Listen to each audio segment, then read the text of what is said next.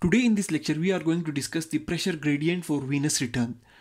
Pressure gradient is simply the pressure difference between the right atrial pressure and the mean systemic filling pressure.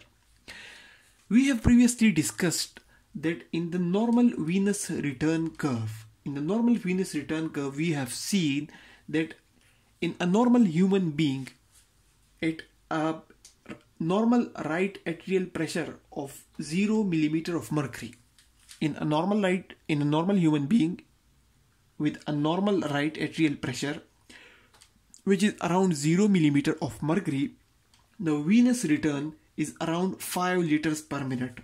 The venous return is around 5 liters per minute.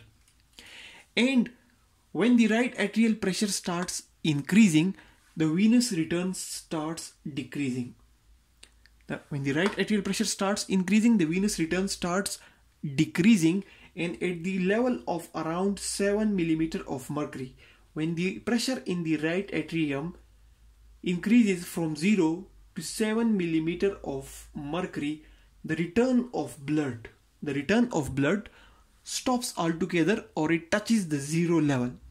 Now this level this level at which the venous return becomes zero is considered as mean systemic filling pressure. Mean systemic filling pressure and it is denoted with this PSF of 7 millimeter of mercury. Mean systemic filling pressure. Now basically we have discussed in our previous lectures as well this this pressure mean systemic filling pressure is this the pressure in the blood vessels when heart beating has been stopped and the the blood flow has ceased and the pressure on arterial and venous sides has equalized.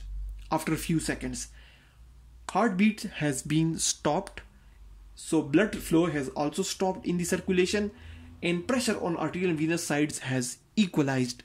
Now the pressure measured now that pressure measured is known as the mean systemic filling pressure and its normal value is 7 millimeter of mercury. As long as as long as this pressure is 7 millimeter of mercury and the right atrial pressure is 0, 0 millimeter of mercury. The, the, the mean systemic filling pressure is 7 and the right atrial pressure is 0 there is a gradient there is a gradient which pushes the blood which pushes the blood from the periphery towards the heart. It pushes the blood from the periphery towards the heart. And this gradient this difference this pressure difference of pressure between the right atrium and the mean systemic filling pressure is known as the pressure gradient for venous return. And due to this pressure gradient the the blood keeps on returning towards the heart. Now if the right atrial pressure starts increasing from 0 to like 1 2 3 4 so if the right atrial pressure starts increasing from here and it reaches 7 level it reaches 7 level the venous return will decrease and it will touch the zero level because at 7 at a pressure of 7 in the right atrial pressure there will be no pressure gradient. There will be no pressure gradient or there will be no difference between the pressure of the right atrium and pressure in the of the mean systemic filling pressure or pressure in the uh, circulatory system or pressure in the vessels.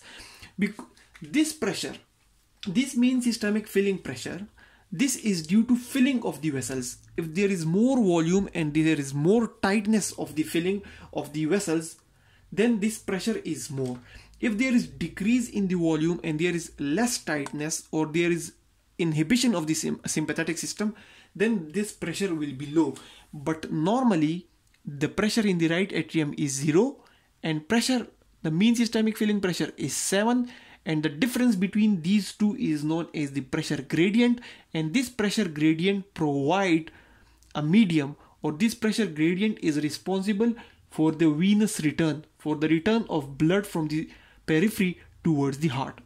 If the if this pressure if this pressure gradient keeps on increasing if the pressure gradient keeps on increasing how will it increase? It will increase if the right atrial pressure remains zero and this pressure this mean systemic filling pressure is increased. For example it is increased from 7 to around 14 then the venous return will jump from the normal 5 liters at this point to around more than 10 so the right atrial pressure remains the same. It remains at this level but the mean systemic filling pressure has increased from this normal level from this normal level to 14 so the venous return so the venous return at every level has increased. The venous return at every level has increased. Because this pressure has become 14 for example or 12 or 13 instead of 7 so the difference or the gradient has increased from because the pressure in the right atrium remains zero. It remains zero. It remains zero and the mean systemic filling pressure has increased. If this gradient is decreased if this gra gradient is increased for example pressure in the right atrium remains zero. Pressure in the right atrium remains zero but the mean systemic filling pressure the mean systemic filling pressure this means systemic filling pressure or the pressure in the vessels or the filling or the volume or the tightness in the vessels has decreased to around 3 then the the gradient will be decreased because the gradient will be between 3.5 and 0 it's 0 in the right atrium and 3.5 in the periphery. So from the 7 it has decreased to 3.5 so venous return will also decrease from the normal 5 level to less to a lesser level. It will decrease to a lesser level because the gradient has been decreased. Now this gradient can decrease or increase because of increasing mean systemic filling pressure or decreasing mean systemic filling pressure but it can also change when there is a change in the right atrial pressure. For example the mean systemic filling pressure remains the same. The mean systemic filling pressure remains the same. But the right atrial pressure increases. The right atrial pressure increases. If the right atrial pressure increases then again we see that there is a decrease of venous return. There will be a decrease in venous return. If increases if it increases more then the venous return will decrease more so if the mean systemic filling pressure remains the same but the right atrial pressure increases to around 1 or 2 or 3 or 7 then the gradient will decrease or it will altogether finish so when there is no gradient, there will be no return of blood flow. And if there is more gradient, there will be more return of blood flow.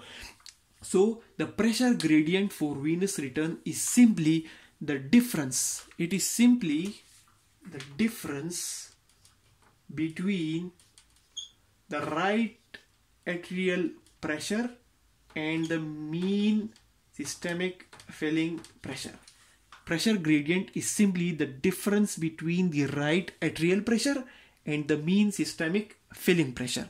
If it is more, the venous return will increase. If it is less or it is decreased, the venous return will decrease. So the, the pressure gradient, the pressure gradient can be increased or decreased either due to changes in the right atrial pressure or either in the changes in the mean systemic filling pressure or it can be decreased or increased due to changes in both the right atrial pressure and the mean systemic filling pressure. So if the pressure in the right atrium remains the same, it remains zero, it remains zero, but the mean systemic filling pressure has increased, then the venous return, the return of blood toward the heart will increase. But if the right atrial pressure remains the same and the the mean systemic filling pressure has been decreased, then the venous return will decrease from the, its normal levels. Similarly, if there is no change in the mean systemic filling pressure, if there is no change in the mean systemic filling pressure, but the pressure in the right atrium increases or decreases, for example, this pressure in the right atrium, it keeps on increasing or it keeps on decreasing, decreasing, it will also increase or decrease the pressure gradient and it will also increase or decrease the uh, venous return. So that's the effect of pressure gradient and that's the definition of pressure gradient for venous return